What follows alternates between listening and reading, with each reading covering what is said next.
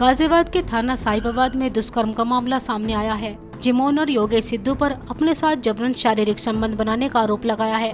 महिला ने बताया कि शालीमार गार्डन में एक जिम में वह जिम करने जाती थी, जहाँ जिम ट्रेनर योगेश सिद्धू उस पर लगातार गंदी नज़र बनाए हुए था।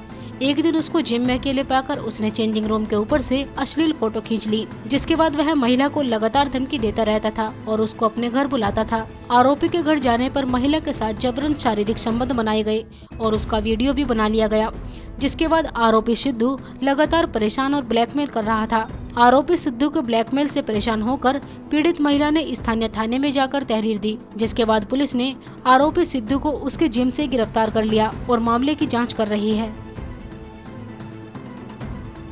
साहिबाबाद क्षेत्र में एक एरिया है शालीमार गार्डन। वहाँ रहने वाली एक महिला ने ये कल एक केस रजिस्टर करवाया है थाना साहिबाबाद में, रेप का, जिसमें एक जिम ट्रेनर कम ओनर है, उसके ऊपर रेप का आरोप लगाया गया। तो जाँच करते हुए, प्राइमा फेसी उसको अरेस्ट करते हुए, उसको आज जेल भेजा जा रहा है। लीगल एक्शन लेते हुए इन्वेस्टिगेशन किया जा रहा है। इन्वेस्टिगेशन के दौरान जो और तथ्य सामने प्रकाश में आएँगे, उसके अनुरूप कार्यवाही की जाएगी।